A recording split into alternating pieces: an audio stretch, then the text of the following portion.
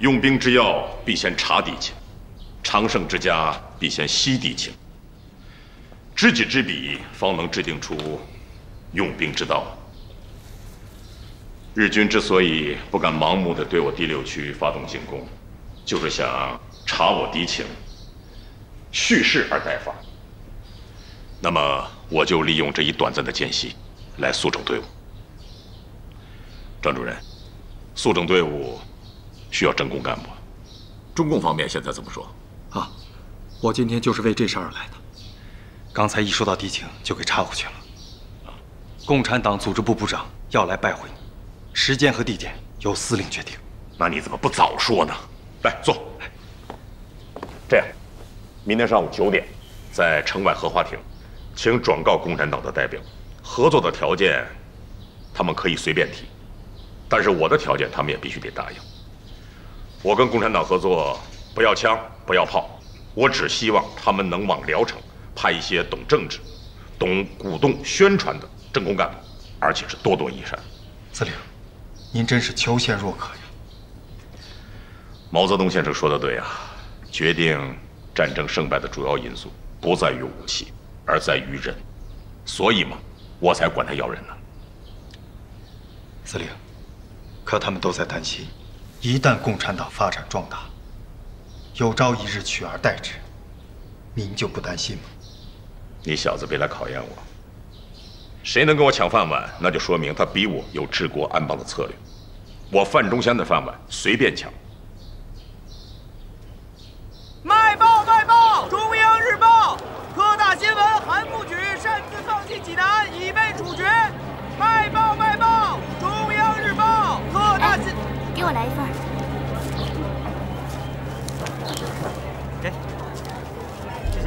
卖报卖报！中央日报。这蒋总裁处决了韩主席，这……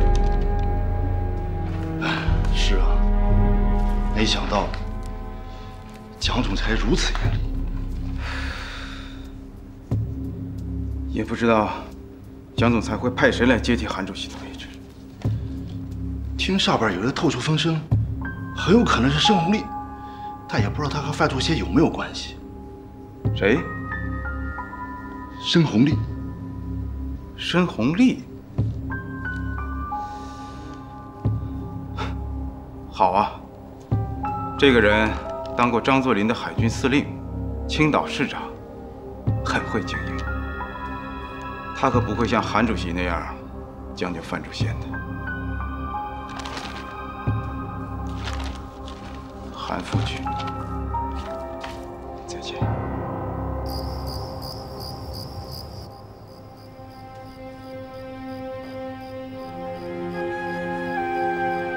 爹，哟，喝酒呢？都被您说中了。您说这韩复榘，他怎么能去开封开会呢？嗯，他只要一进河南地界，准见阎王。果不其然，蒋总裁以擅离职守、不尽其责之罪把他给处死了。我知道您跟韩复榘之间的恩怨，可这韩大胆胆子也太大了。没有最高军事委员会的命令，他就敢擅自一枪不放撤出济南城。那照你的意思，他应该与济南共存亡了。舒立啊，你还年轻，你要是这么认为的话，那你就大错而特错了。你所知道的、看到的韩复榘，绝非真实的韩复榘。我知道您跟他有一点交情，可是当年中原大战，要不是他和石友三背叛冯玉祥，中国的格局很难断定。你懂个屁！中原大战那是谁打谁啊？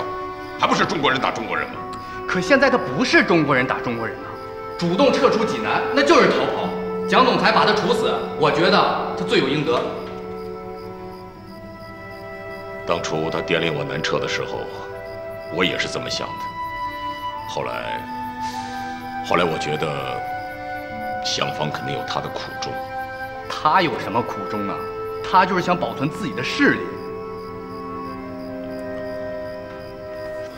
你说的这句话，也不是没有道理的。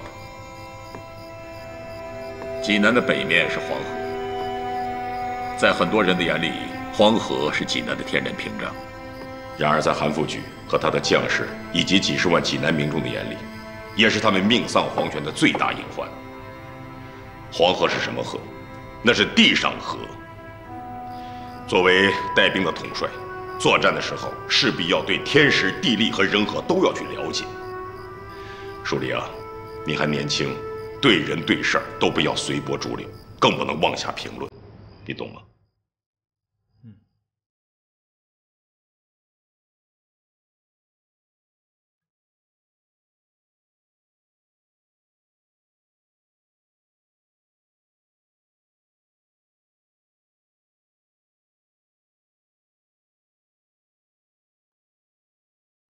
向芳啊，向芳，你是聪明一世，糊涂一时啊！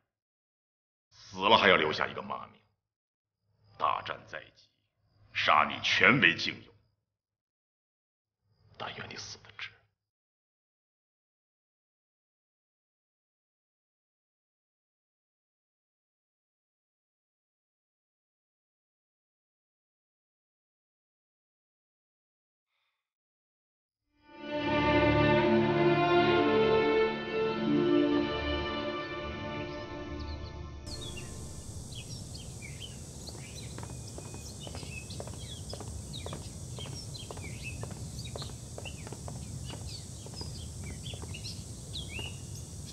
姚部长，范司令到了。司令，这位就是共产党省委组织部部长姚玉光同志。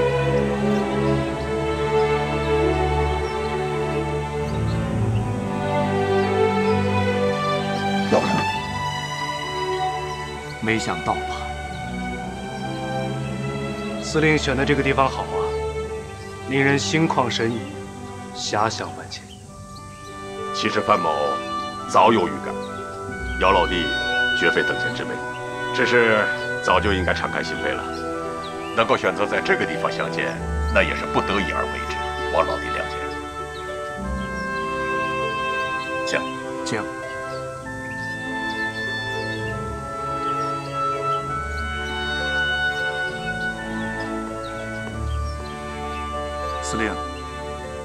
在哪见不重要，坦诚相见最重要。我期待坦诚相见的这一天很久了。我知道司令对于与我党的合作一直有所顾忌。是，是有所顾忌，但也无所顾忌。我很想听一听。我与贵党合作，可以说无所顾忌，那是因为国共两党毕竟已经签署了双十二的条约，足以可以冠冕堂皇地打出联合抗日的旗号。非常时期，家人不和，如何御敌呀？而我为何又有所顾忌？那是因为国共两党这么多年来，毕竟积怨太深，况且我身边又有党棍、军统和中统，甚至有日本人的特务。我只是希望我们国共两党能够摩擦少一些，合作多一些，这样抗日大业才有希望。司令所言极是，您坦诚相见，我也直言不讳。大敌当前，确实有那么一些人打着国共合作的招牌，为了党国利益、置民族利益而不顾，遏制我党我军的发展，甚至作为异己进行排斥。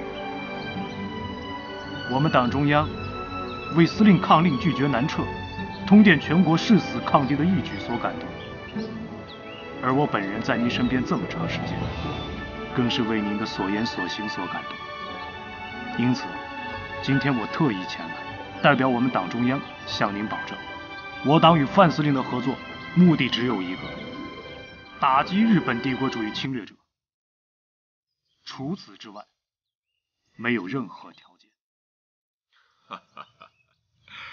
那看来我这个老头子没有你们共产党人这么宽宏大量啊！我首先向贵党提。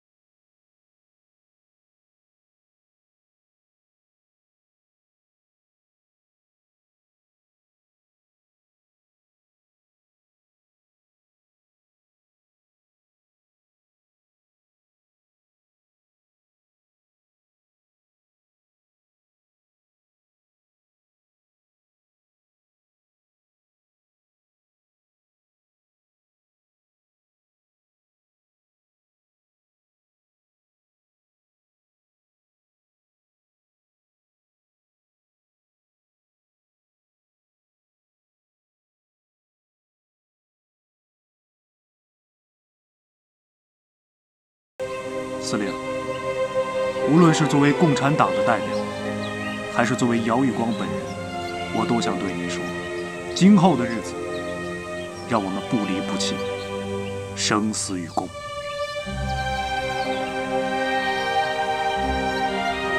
不离不弃，生死与共。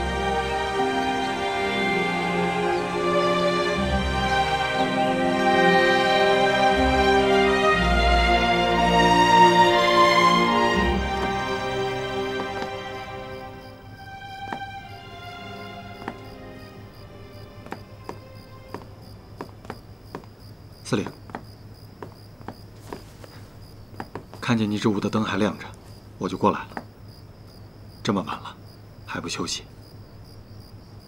延安那边有消息吗？刚到的消息，中共中央选派的优秀政工干部正在延安集合，用不了几天就能到达聊城。张翰，我刚才在想一个问题：我既然宣布了政治部和司令部平级，那么政治部下面就可以设科、处，各团可以设立政治部。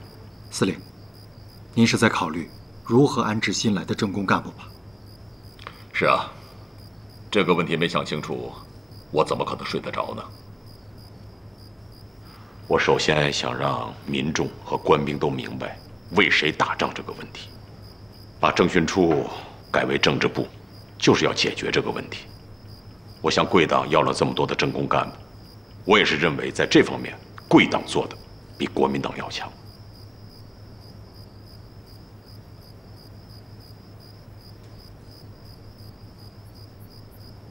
怎么了，张翰？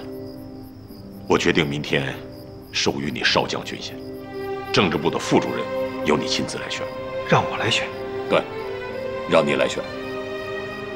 只要对打赢这场战争有利，能够让民众尽快的团结起来，一致抗战，你们可以放开手脚，大胆的尝试。有事儿我来担着。但是张翰，我这可不是抬举你。我是给了你更大的责任，你明白吗？明白。张翰一定不会辜负司令的期望。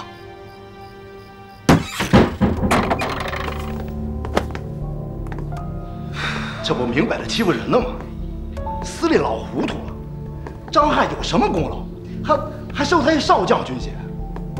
参谋长，您原本是咱们六区的二号人，您看还现在弄来弄去的。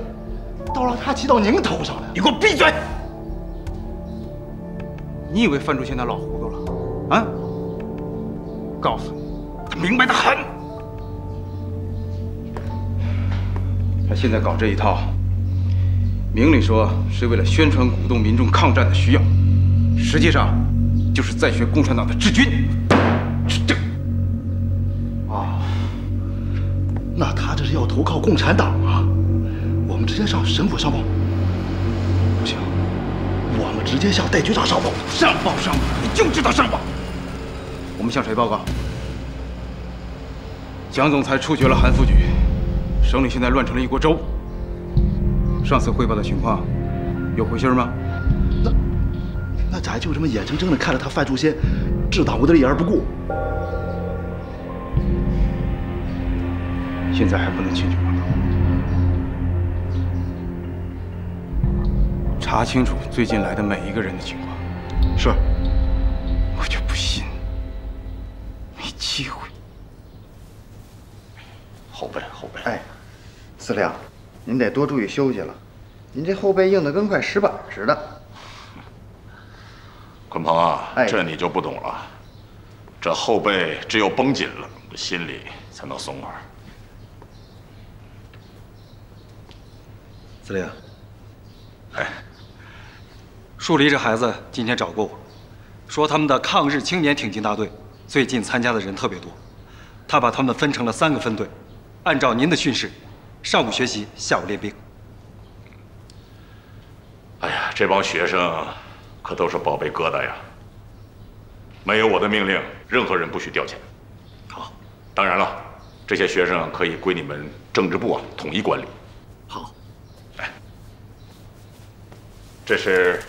玉光写的《鲁西北抗日司令部关于统战、武装、政权方面的工作报告。这个报告高屋建瓴啊，我看了以后深受感触。来坐。好。玉光怀揣大志，有治国安邦之才，我决定啊，接受他的建议，成立军政干校。这样的话，可以就区县政权的巩固和支持抗战起到很大的作用，同时对于培训公职人员也有很大的作用。玉光是一位不可多得的人才啊！成立军政干校，我想让他来担任校长，同时授予他少将军衔，你觉得怎么样？我有什么意见呀？要不然，我不成了嫉贤妒能的小人了。你是没有意见的，可有人会不高兴啊，有人会嫉贤妒能，但是不管他了。乱世出英雄嘛，唯有乱世，方能显英雄本色。啊，对了，玉光啊，还提出了要成立抗战日报的编辑部，同时可以把宣传舆论工作给他搞上去。你这手里拿的是什么？哦，这是。延安选到聊城的人员名单。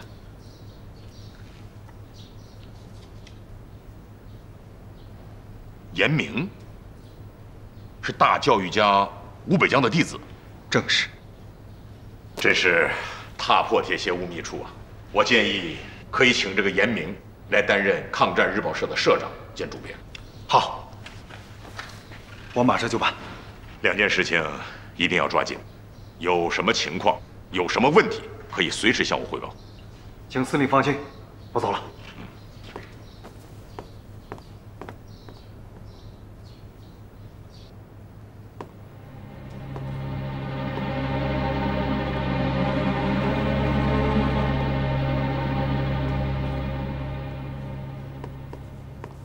申主席，申主席，您舟车劳顿，刚刚上任，本不该打扰。可是六区几电，哎，无妨无妨，我上任就是为了党国服务的吧。我可不是他韩复榘。罢了罢了，此人已故。六区成立军政干校有什么大惊小怪的？他在鲁西北成立抗日根据地，这也是好事啊。是是。可是有情报显示，六区涌进了大批的共党，属下是怕怕怕六区的共产党闹翻天，不怕。你看，委座刚刚发来嘉奖令，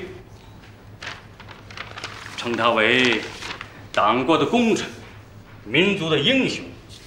这个时候你让我去诋毁他，知道后果吗？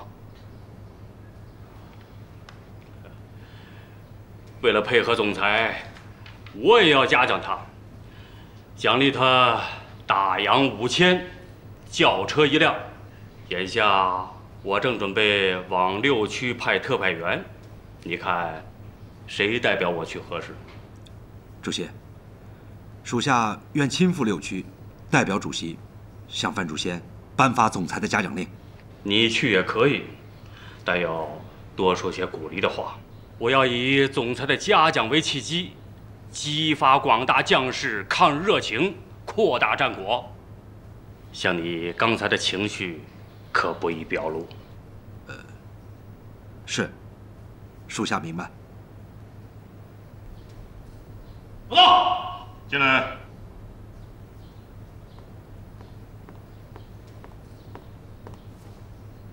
鲁西北抗日根据地军政干校副校长姚玉光向司令员报道。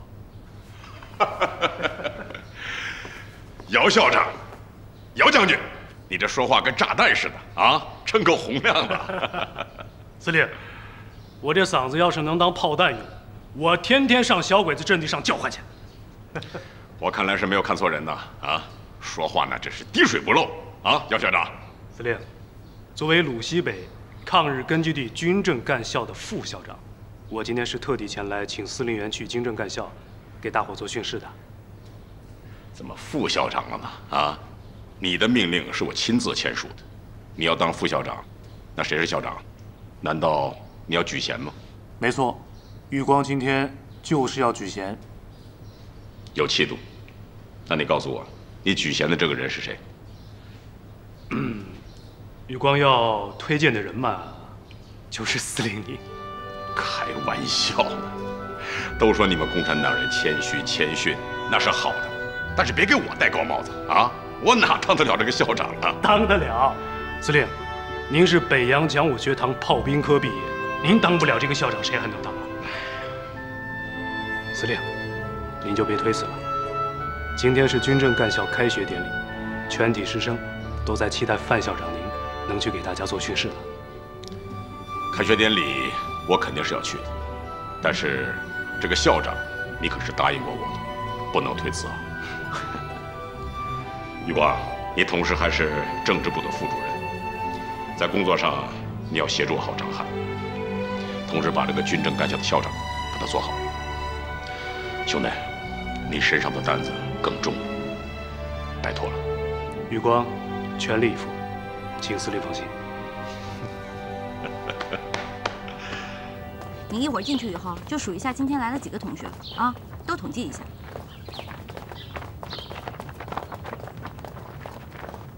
哎，嗯，范树平，你怎么在这儿？你不应该在天津吗？你在这儿，我怎么就不能在这儿？哎，你是跟延安那批人一起来的吗？是啊，你怎么知道的？哦，对了，今天军政干校开学，我正要过去呢，你要不要跟我一起？听说。今天范司令要发表讲话，他讲话有什么新鲜的？你怎么能这么说呢？你不知道吗？范司令拒绝南撤，誓死抗日，他可是了不起的抗日英雄。看来你还挺崇敬他的嘛。那是自然了，像他这样的英雄，难道不值得我们好好学习吗？学习，我每天都在学习。你每天都在学习？哎，开学典礼要开始了。哦，对。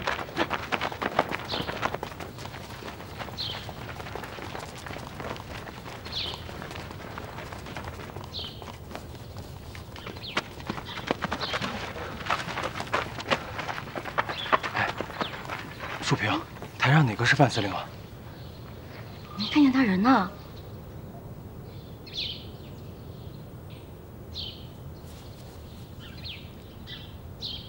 玉光，大家都到齐了，总司令怎么还没来？来了，在下边坐着呢。哎，娜娜，死活不肯上台啊！同学们。我的本意是想请范司令担任我们军政干校的校长，可是我们的司令啊一再推辞。现在我们的司令到现场了，我们请司令上台，给大家做训示，好不好？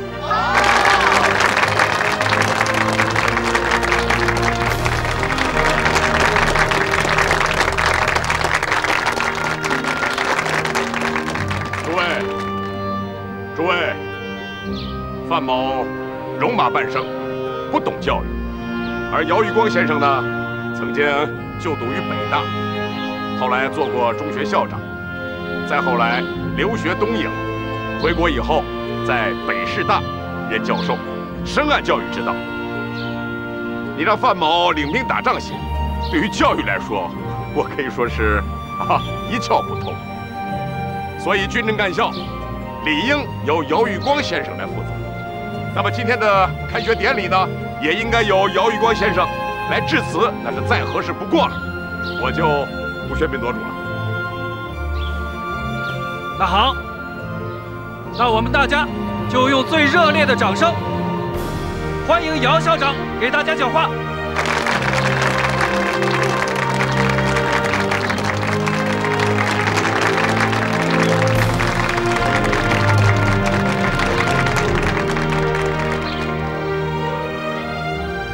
同学们，建立鲁西北抗日革命根据地军政干校，是我们司令的用意，旨在统一抗日革命纲领，统一抗日思想，统一抗日步调。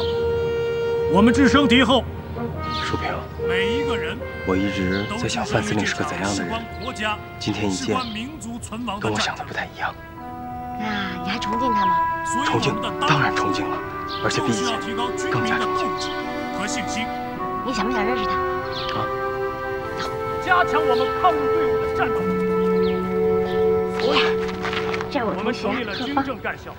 司令你好。好好好。在加强部队军官同志，你好啊。和广大军民的教育当中。怎么着，淑萍？有什么事儿吗？他就是想认识下你。正在开会呢，开完会以后再说啊。把日本人赶出我们的国土，这一点才是我们军政干校成立的首要目的，也是范司令对我们每一个人的要求。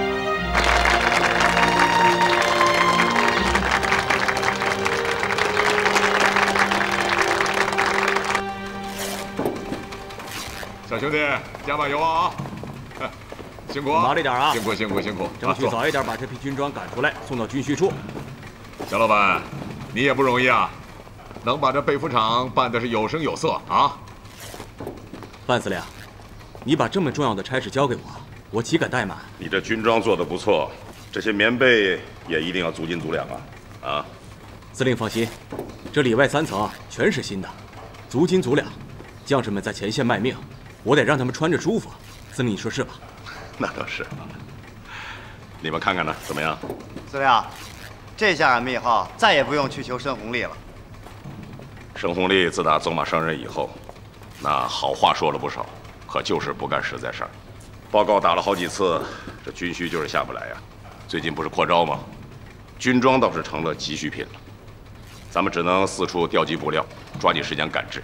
咱总不能让战士们穿着老百姓的衣服去上战场吧？啊！司令，要我说呀，您就不应该收编那帮土匪。你看看他们一个一个的，哪有个当兵的样子？再好的军服穿到他们身上都像抢来的。我说汪参谋长，咱不能用老眼光去看待他们。啊，人总是会变的嘛。只要他抗日，那就是咱们的好兄弟，就是我范主贤的兵。啊，是是。小老板，嗯，再次感谢啊。应该的，司令。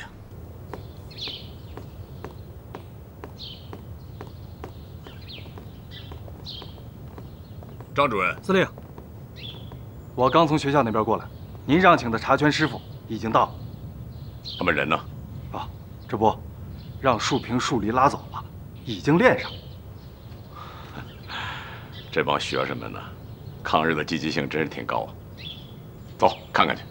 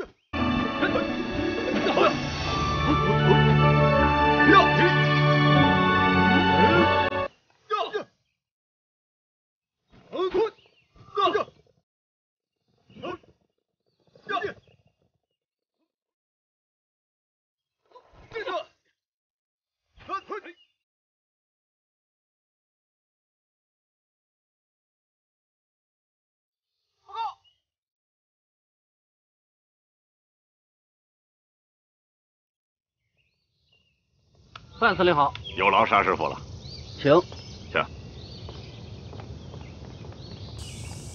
诸位师傅，有劳了。范司令，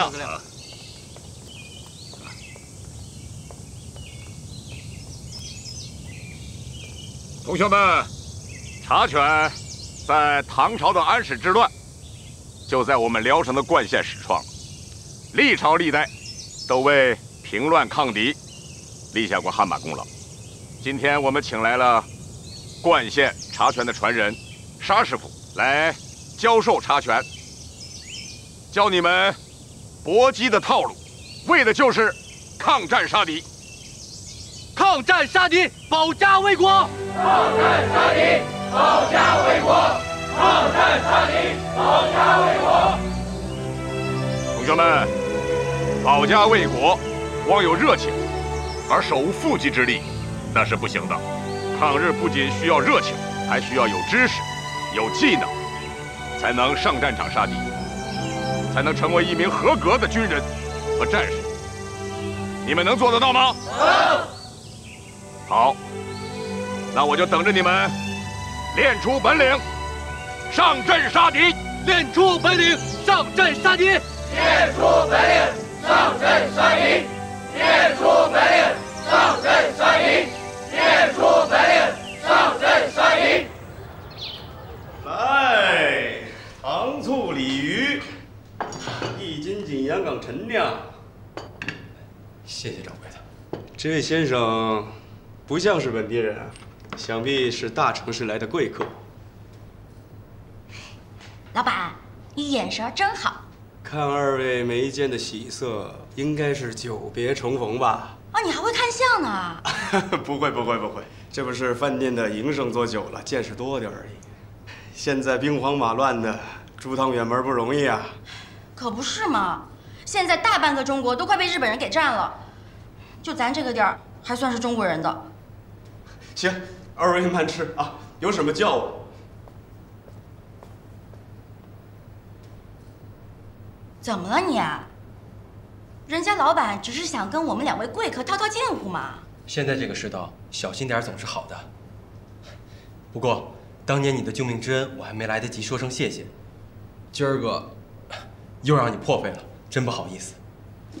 那你说吧，说一千遍、一万遍，我都听着。我，我，你怎么了你？你们南开中学当时上街游行，向市政府请愿，那都是不要命的主啊！警察要逮你们，你不还冲在最前面吗？见了我你就不会说话了？我说不说话？我我这不是没想到能在这儿见到你吗？这不这，这不是没有心理准备吗？吃饭吧，吃饭不要心理准备。哎，我我我我自己。哎哎，哎呀，来。哎不，我我我我我我自己来擦，我我自己能擦，我自己个手还不好意思啊？哎呀，这这手绢被我弄脏了，要要不这样，我我回去洗干净了再还给你。我送给你的，你保存好。哎，好，我保存好。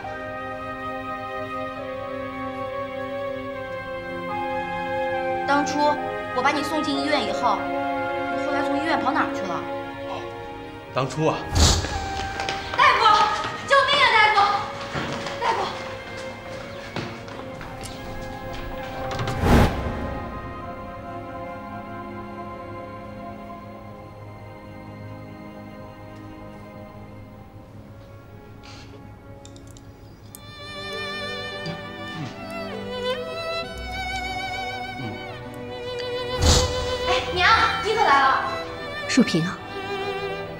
谁住院了？是我同学贺芳受伤了，严重吗？应该没什么问题吧？啊那就好。我看你们不是一般的同学吧？哎呀，娘，人家是为了民众请愿才受伤的，而且爹不是总教导我们说是要积恶扬善吗？好，娘相信我女儿看上的小伙子肯定错不了。哎呀，我哪有看上？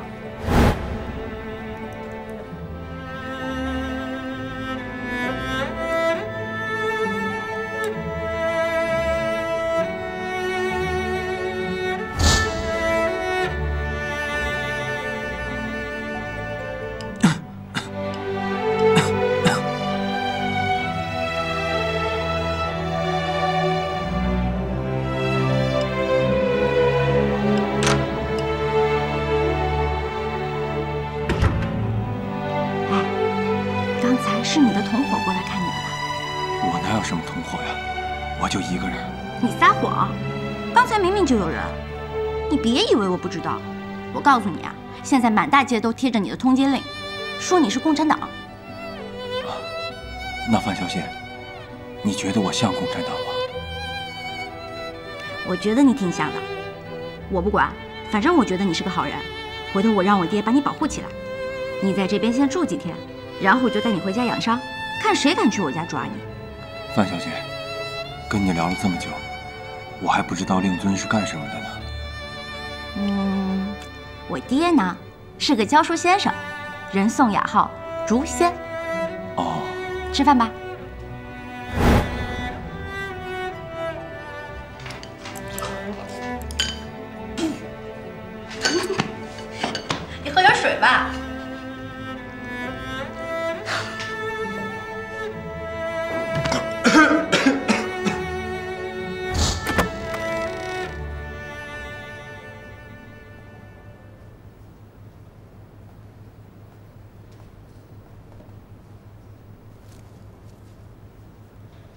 树平同学，谢谢你的救命之恩和近日来的照顾，请原谅不辞而别，但我相信有缘还会相会。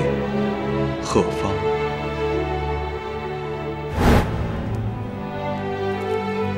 终于应验了你的“有缘再相会”。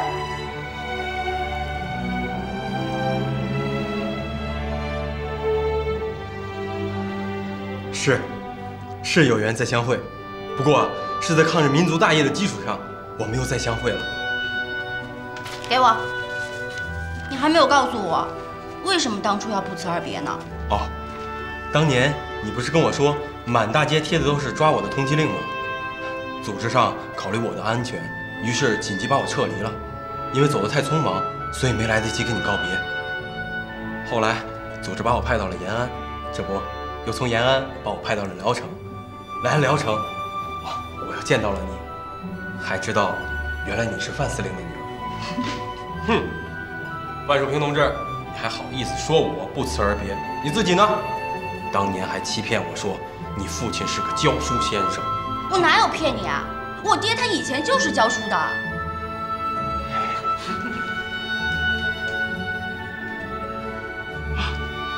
你认真回答我一个问题，我就告诉你一个关于你的秘密。我的秘密是什么？你先告诉我，你是不是共产党？那你先告诉我，你爹真的欢迎共产党吗？小滑头，你才是个小滑头！你还没告诉我，我那秘密是什么呀？我就不告诉你，我弟弟是你的长官。范树离是你弟弟？对啊。范树平、范树离，我真笨，我怎么没想到呢？你就是笨。哎，说真的，你给我弟弟当副大队长，是不是有点屈才啊？不不不不不，我从延安来前线呀，就是来学习的，就是来学习的。谦虚过度就是骄傲了。我把我弟哥交给你了，你好好带他。是，请树平同志放心。嘿嘿。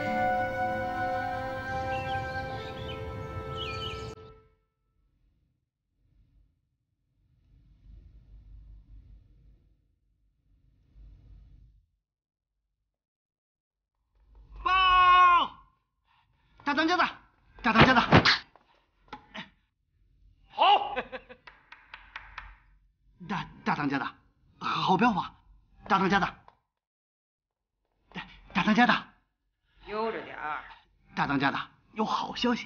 有屁快放！这回真的是好消息，有关那范胡子的。范胡子，你听我跟你说啊，范胡子的军服厂新做出来一批军装，听说这两天就准备运走了。好啊！啊，这两天啊，到底是哪天？呃，俺还不知道呢。俺这不是急着回来给您报信吗？继续去探啊！哎。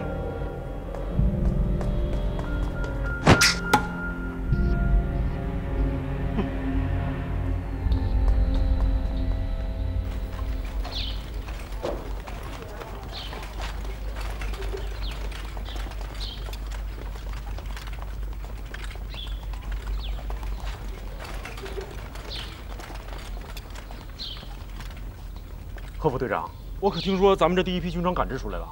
对呀、这新衣服有没有我们的份儿啊？对呀是啊，有没有我们的份儿啊有没有我看我这军装旧的有没有我们的？要不何副队长带我们去趟被服厂呗？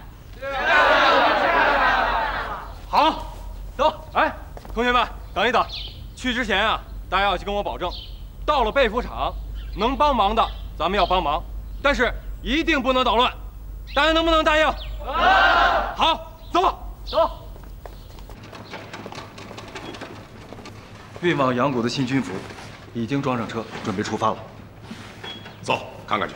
哎，司令，俺这套军服也穿这么多年了，是不是该换套新的了？